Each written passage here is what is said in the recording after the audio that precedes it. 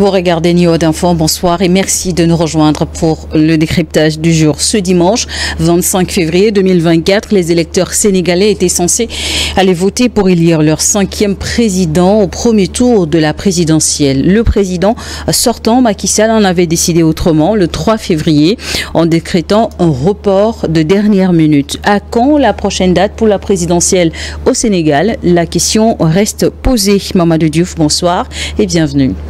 Merci. Bonsoir Charlotte.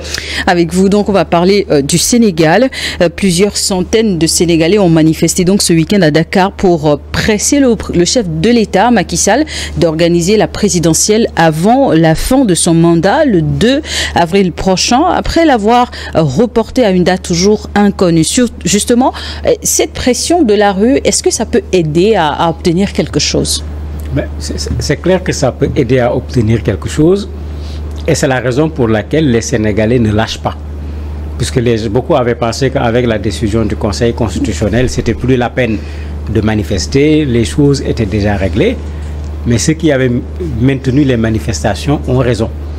Parce que si on se rappelle, le président avait promis, après avoir pris acte, d'aller dans le sens de respecter pleinement ce que le Conseil constitutionnel a dit, et il a même prévu de faire les concertations le plus vite. Ce qui n'a pas été le cas, puisqu'on a fait, on est à combien de jours depuis la date où le Conseil constitutionnel lui a dit non, il faut fixer une date pour les, pour les élections. Donc ceux qui au départ avaient dit bon ce n'est plus la peine, le problème a été réglé. Ceux qui avaient persisté en disant qu'il faut manifester ont raison. Et c'est pourquoi les manifestations continuent jusqu'à présent. Même demain, les gens envisagent une ville morte pour dire que ce n'est pas les manifestations du week-end seulement, il y a tout un plan d'action qui a été mis en place qui révèle progressivement. Euh, la particularité de ce, de ce week-end quand même, c'est qu'il y a des partisans du président qui ont marché aussi. Ils disaient que la, marche, ils avaient appelé ça maquis au cœur. Mm. Il y a quand même des Sénégalais qui ont marché pour soutenir le président de la République euh, dans cette situation difficile, comme ils disent, avec tout ce qu'il a fait pour le, pour le Sénégal, puisque c'était ça leur, leur discours. Mais le gros des manifestations à Dakar comme ailleurs, c'était plutôt pour contester et avoir le plus rapidement possible une date pour les élections. Beaucoup de promesses sont tenues par, par le président euh, de la République, euh, Macky Sall. Cette incertitude, euh, quel risque tout ceci peut entraîner? En fait, les, les, les, risques sont, sont de plusieurs ordres. Le premier risque, et qui est le plus important, c'est qu'en faisant traîner les choses jusqu'au 2 avril, où son mandat est terminé, d'ailleurs lui-même dans une interview a dit clairement que son mandat est terminé et lui il s'arrête là-bas bien qu'il n'avait pas dit, qu'on lui a posé la question, vous démissionnez, il n'a pas dit il démissionne. Il a dit que les gens vont discuter pour savoir comment on va faire. Mais tout le monde sait que le président de la République est resté dans sa première idée. Rebattre les cartes, recommencer les élections à zéro, pour éventuellement changer de candidat, pour permettre à Karim Wade d'être candidat parce que tout le monde se dit qu'il s'était entendu sur quelque chose. Finalement, Karim n'est pas, pas dans le lot. ils lui doivent, si je peux l'appeler ainsi, quelque chose. Mais ça, pour le faire, il va falloir faire traîner les élections jusqu'à ce qu'on arrive au 2 avril, qu'il n'y ait pas d'élection. Si le président part, qu'on rentre dans une, dans, dans, dans, dans, une présidence qui sera une présidence de transition assumée par le président de l'Assemblée nationale, après que le, Conseil constitutionnel ait constaté la vacance du pouvoir, ce qui peut relancer non plus le processus électoral qui était là, mais un nouveau processus où il y a vacance de pouvoir, il faut organiser des élections dans les 60 ou 90 jours. Maintenant, il y a une incertitude qui est là. Si on commence les élections, le 2 avril, on n'a pas fini avec les élections, qu'est-ce qu'on fait?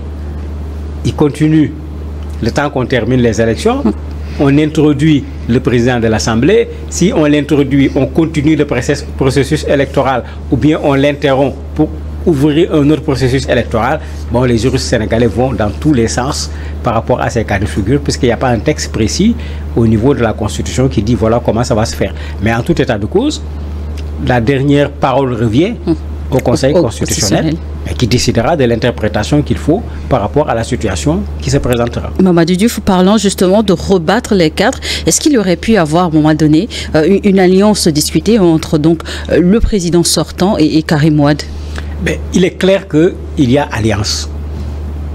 Les gens l'avaient dit avant le dialogue. si vous vous rappelez, Wallou, la coalition dans laquelle se trouve le PDS, qui était menée également par le PDS, qui est le parti de, de, de, est allé aux élections législatives avec l'opposition sénégalaise. Ils ont même été appuyés par l'opposition puisque pendant la campagne électorale, ils ont créé ce qu'on appelle intercoalition. Wallou, Yewi, ils se sont mis ensemble contre le pouvoir. Mais tout le monde a constaté après une chose extraordinaire, le PDS, tout en se disant parti de l'opposition, attaquer l'opposition au lieu d'attaquer le, le. Pouvoir. Euh, Quand Mme Aminata Touré a été écartée de l'Assemblée en tant que députée, mais les, députés du PDS ont participé à l'écarter. Et c'est là où les gens commencé à dire, mais attendez, le PDS et le pouvoir, qu'est-ce qu'il y a entre eux? Vous avez vu ce qui s'est passé la dernière fois. C'est le PDS qui amène la proposition de loi. C'est les députés du parti au pouvoir qui portent la proposition de loi. On a l'impression même que c'est eux qui sont à l'origine. Et le président a eu le malheur de dire clairement à ses députés de soutenir cette proposition de loi. Donc clairement, il y a quelque chose entre eux. Et dans ce quelque chose, le minimum certainement, c'est que Karim Wade puisse être candidat. Candidat. Il y a d'autres qui vont plus loin, même en disant qu'éventuellement même, Maki veut faire de Karim son candidat. Bon, moi pour le moment, cette hypothèse ne me convainc pas encore. La, les- revendication, revendications des manifestants euh, s'est étendue euh, à la libération des, opposants Ousmane Sonko et euh, Diomaye. Le président lui-même, dans son euh, entretien avec les journalistes, a laissé entendre qu'il y a des possibilités justement que ce- ces, messieurs sortent de prison, des hommes politiques. Est-ce que là, on peut, croire, euh, espérer ou croire le, président sur, sur parole, même s'il n'y a pas eu de, de, de promesses sur table? Bon, croire, ce ne sera pas facile puisque il y a quand même un pas. Je ne connais plus le nombre actuellement, mais peut-être certainement, on est autour de 500, 600 personnes qui ont déjà été libérées. Ce qui est curieux, parmi ces personnes qui ont été libé- libérées, vous en avez qui, juste la semaine passée, leurs avocats ont déposé pour la quatrième, pour la cinquième fois, une demande de liberté provisoire, on le leur a refusé. Et du jour au lendemain, on a mis toutes ces personnes-là dehors, puisque c'est comme ça qu'il faut, qu'il faut l'appeler. Ça, ramène un problème. C'était effectivement des détenus politiques. On les a pris politiquement, on les a mis en prison politiquement, on les a fait sortir de prison politiquement. C'est vrai que il se susurre qu'il y a des discussions avec euh, Ousmane Sonko et que dans les discussions, lui, il exige que tous les gens qui ont été emprisonnés inutilement puissent être libérés. Mais dans ça également, on n'a pas du concret. Vous avez des, des annonces qui se font ici, qui sont contredites de, de, l'autre côté. Là également, il y a un flou. Ce qui est sûr, c'est qu'il se passe quelque chose. Quoi exactement, on ne sait pas. Est-ce que ça aboutira à une libération de Sonko ou de Diomaye? Ben, Je me dis certainement parce que à l'allure où vont les choses, si le pouvoir en place perd les élections, même si Bassirou Diomaye Faye a fait sa campagne électorale à l'intérieur de la prison, mais Macky Sall va devoir faire la passation de service avec son prisonnier. C'est-à-dire tu seras obligé de le libérer. Mais autant faire au moins preuve, j'allais dire, même d'une magnanimité, entre guillemets, même si ce n'est pas vrai, même si ce n'est pas sincère, les libérer d'abord pour que ensuite qu'on puisse dire, mais je les ai quand même libérés de, de, de prison. Mais il y aura un problème parce que le président parlait de liberté provisoire, que les avocats introduisent, etc. Vous avez entendu la réaction de l'avocat de Diomaye en particulier. Il dit qu'ils n'introduiront absolument rien. Ceux qui les ont mis en prison dans ces conditions peuvent passer par les mêmes voies pour les faire sortir de prison. Donc, même, même cette affaire Autrement de dit, par voie judiciaire. ben, ben, ben, pas par, par, par, par, par voie judiciaire, ce serait trop dire, puisque la voie judiciaire, c'était que l'avocat vienne et dépose Hum. une demande de liberté provisoire, qu'on en profite pour le, pour le libérer. La- la- les avocats en avaient déjà déposé plusieurs. Pour Diomaye, par exemple, son avocat a été clair, il dépose absolument rien. Ceux qui l'ont mis là-bas dans ces conditions n'ont qu'à le faire sortir dans les mêmes conditions pour dire que même sur cette question de libération, il y a encore une pression, il y a encore un affrontement entre le pouvoir et, l'opposition. Mamadou Diouf, pour tenter donc de, résoudre ces, énigmes, le, président a donc euh, annoncé l'ouverture d'un dialogue qui devra donc se, tenir ce, lundi, à partir de, ce lundi. Euh, en fin de journée, on a eu l'information, la rencontre a effectivement euh, débuté. Vous avez, en tant que journaliste, eu aussi des informations de dernière minute, mais est-ce que on sait qui est-ce qui participe à, cette, à ce dialogue? Je crois que c'est qui participe qui est le plus gros problème de ce dialogue. J'avais dit ici, avec le dialogue qui avait été fait la dernière fois, il y aura encore un dialogue. Mais pour ce dialogue également, je le répète, il y aura encore un dialogue. Parce que quand on dialogue, c'est ceux qui sont en conflit. Quand on parle de dialogue, l'objectif d'un dialogue, c'est de dire aux gens que chacun met une balle à terre, qu'on s'asseye et qu'on trouve une solution. Parce qu'il faut le dire clairement, on ne peut pas rester dans de l'impasse. Il faut pouvoir trouver une porte de sortie. Mais quand un dialogue n'est pas sincère, il ne permet pas de trouver une porte de sortie, il crée d'autres problèmes. Et c'est ça le problème avec ce dialogue. Le Conseil constitutionnel a dit au président de la République, fixe une date dans les meilleurs délais. Le même Conseil constitutionnel, dans le même texte, lui rappelle que ton mandat se termine le 2. Le 2 avril. Mais tous les spécialistes ont dit, c'est clair, il doit rapidement fixer la date et qu'on aille aux élections. Justement, au sortir de ce dialogue, est-ce qu'on peut espérer enfin avoir euh, une date euh, fixée? Il faut d'abord régler ce problème.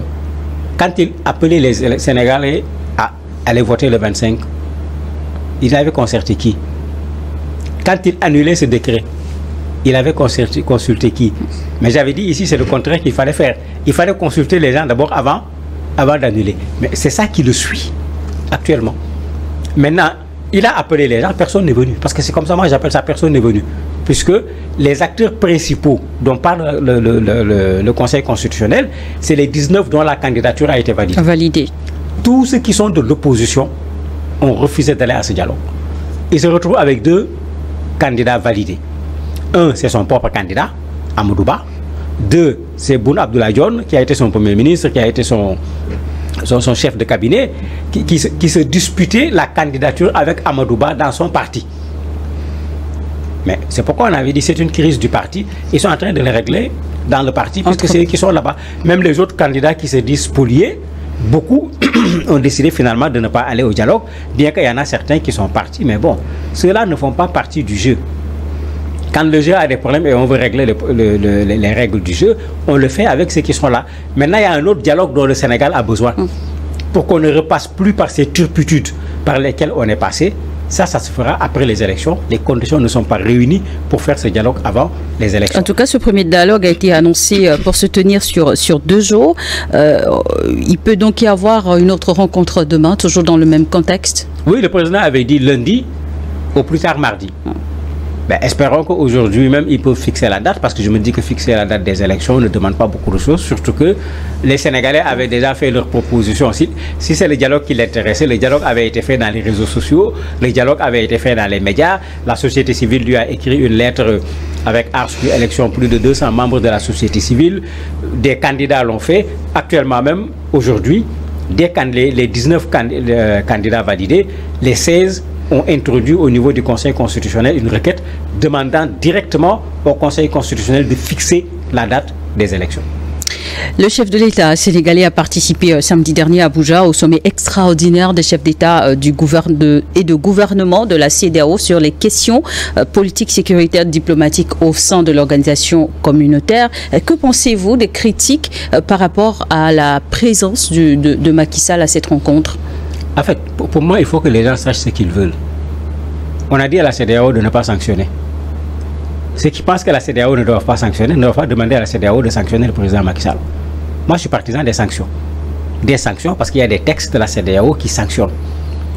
Mais si on devait appliquer ces textes, au moins, à défaut de sanctionner le Sénégal comme on l'a fait avec les hein? autres pays, on pouvait sanctionner le président de la Justement, la CDAO devrait-il prendre des sanctions vis-à-vis du Sénégal les sanctions, il ne devait pas voyager, puisque c'est ce qu'on fait le plus souvent, c'est les plus petites sanctions, et surtout pas venir assister à une rencontre de la CDAO où on vient discuter des sanctions qui ont été imposées à des pays, des sanctions qui ont été contestées par l'essentiel des populations. Mais on ne le sanctionne pas. Il vient, mais, il faut qu'on soit logique.